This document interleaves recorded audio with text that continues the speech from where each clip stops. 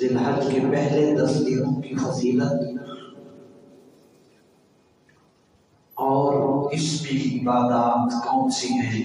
اس حوالے سے ہم گفتگو کر رہے ہیں تاکہ ماہ ذلحج کا جو پہلا عشرہ ہے، ہم اس کو صحیح طور پر بنا سکے اور اس کی اہمیت کے مطابق اسے گزار سکے۔ اور اس میں اللہ پاک کی وہ عبادات جو مالک کو زیادہ پسند ہیں، وہ کر سکیں اہمیت کے حوالے سے پہلا نقطہ یہ ہے ذراج کا، کہ یہ اسلامی سال کا آخری مہینہ۔ ہے دوسری فضیلت یہ ہے کہ قرآن کریم نے ارشاد فرمایا ان عدت الشہور عند اللہ اسم عشر شہر کہ اللہ تعالیٰ نے جب سے زمین و آسمان پیدا فرمائے، تو مہینوں کی تعداد بارہ ہے منہا اربعت حرم ان بارہ میں سے چار مہینے وہ ہیں جو حرمت والے ہیں؟ وہ چار کون سے ہیں؟ وہ محرم، رجب زکات اور ذلحج یہ چار مہینے حرمت والے ہیں، عزت والے ہیں۔ احترام والے ہیں۔ اسلام سے قبل لوگ اہل عرب ان مہینوں کا بے حد احترام کرتے تھے۔ اور قتل و غارت سے جنگیں وغیرہ سے رک جاتے تھے۔ کہتے تھے کہ یہ حرمت والے مہینے ہیں۔ پھر ذلحج کا جو مہینہ انشاءاللہ طلوع ہونے والا ہے وہ ان چار میں سب سے افضل ہے۔ تو تیسرا نقطہ۔ اس مہینہ میں اللہ تعالیٰ نے فریضہ حج کی ادائیگی کا حکم دیا۔ تو حج بیت اللہ کی وجہ سے اس مہینہ کو اور عروج میں نام اور چوتھی وجہ اس کی فضیلت کی یہ ہے کہ اسی ماہ میں امت مسلمہ اپنے جانوروں کی قربانی اللہ کی بارگاہ میں پیش کرتی ہے اور اس کے علاوہ پانچویں فضیلت جو آپ کی شاید نظر میں نہ ہو، وہ یہ ہے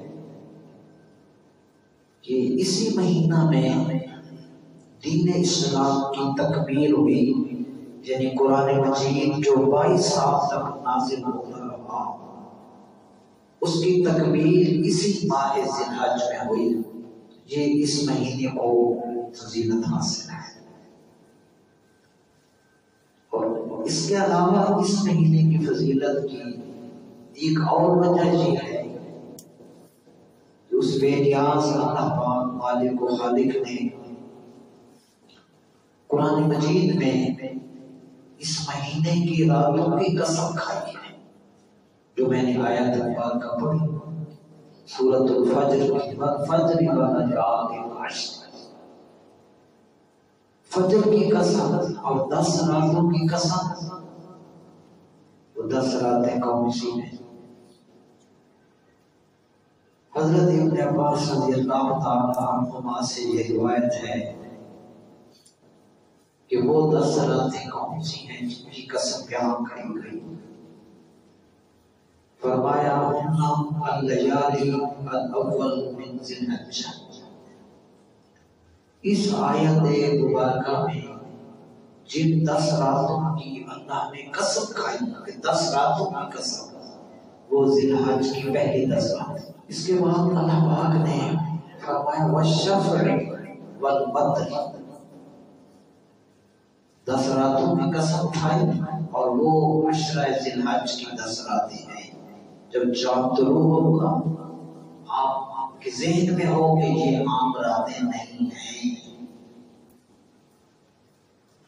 یہ عزت والے وہ آتے ہیں جن کی اللہ نے قسم اٹھائی۔ اور پھر وشف والبدر۔ اشف سے مراد ہے جفت۔ یہ جفت سے مراد دس ذی الحج ہے۔ اور والبدر بدر سے مراد نو ذی ہے۔ نو دو پر نہیں، تقسیم ہوتا اور دس دو پر تقسیم ہو جاتا ہے۔ وہ اشرف اس کی بھی قسم کھائے وہ یا نو ذی الحج کی بھی رب نے قسم اٹھائی اور دس ذی الحج کی بھی قسم اٹھائی۔ اور ان دس راتوں کی بھی قسم اٹھائی۔ تو یہ اس کی عرض کر رہا۔ ہوں تاکہ ہم لوگ اپنی پکیا زندگی میں ان چیزوں کی اہمیت کو سمجھیں اور ان دس رات کو یہ فضیلت اس لیے ملی تین سو پینسٹھ راتیں سال کی اور بڑی ہیں۔ یہ جو برتری ہم کو مل گئی ساتھ محترم مفتی محمد خان قادری علی رحمان نے لکھا کہ چونکہ ان دنوں میں حجاج کرام مکہ مکرمہ میں حج کرنے کے لیے، احرام باندھے ہوئے کے لیے حج کرنے کے لیے مکہ مکرمہ میں سب آ رہے ہوتے ہیں۔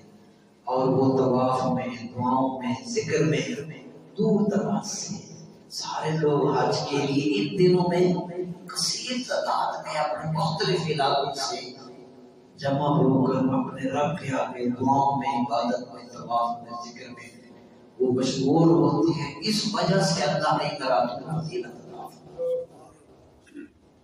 یہ عام نہیں ہے۔ لاکھوں بندگان خدا پہنچ رہے ہیں۔ کئی چلے بھی گئے یہاں سے۔ اللہ ہم سب کو حج کی سعادت عطا فرمائے۔ سو اس وجہ سے ان دس رات کو فضیلت ملی۔ اب اس کے بعد انہی دنوں میں جو اور فضیلت ہے جس کو حضرت شیخ نے ماں ثابت ابی سنت میں حضرت جابر سے یہ حدیث درج کی، حضور علیہ السلام نے ارشاد فرمایا، ما من ایام افضل من عشر الحج پورے سال میں عشرہ ذی کے دس دنوں کے برابر کوئی دن بھی فضیلت نہیں رکھتا۔ جتنے بھی تین سو پینسٹھ دنوں میں ذی الحج کے دس دن ہیں، ان سے بڑھ کر کسی دن کو فضیلت نہیں۔ اس پر مفسرین نے میرے استاد صاحب نے لکھا کہ تم کہتے ہو رمضان کی دس راتیں وہ افضل ہیں۔ اب کہہ رہے ہو کہ یہ راتیں افضل ہیں، تو ان میں کیا فرق ہے؟ اللہ۔ فرمایا قرآن اور حدیث کی روشنی میں علماء نے اس کا جواب یہ لکھا کہ چوبیس گھنٹوں کے دو حصے ہوتے ہیں۔ آدھا حصہ دن ہوتا ہے، آدھا حصہ رات ہوتا ہے۔ فرمایا، شب قدر رات کو آتی ہے، اس لیے رمضان کی آخری دس راتیں افضل ہیں۔ اور حج قربانی دن کو ہوتی ہے، دنوں کے لحاظ سے یہ دن افضل